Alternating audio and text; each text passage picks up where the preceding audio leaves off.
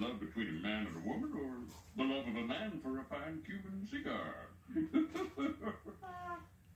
I bring you love. It's bringing love. Don't let it get away. Break its legs.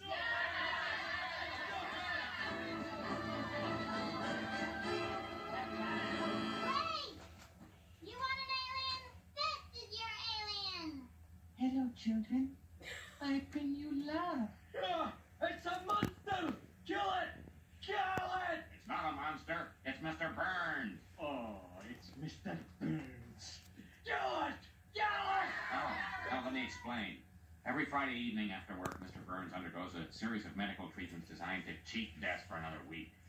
First, Mr. Burns' chiropractors perform a slight spinal adjustment.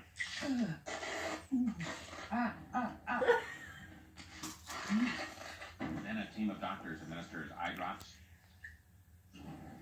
painkillers, and a vocal cord scraping. Don't worry, you won't feel a thing till I jam this down your throat. The whole ordeal leaves Mr. Burns twisted and disoriented. The most rewarding part was when he gave me my money.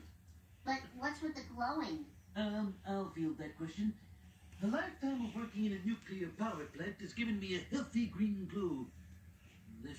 Impotent that a boxing commissioner.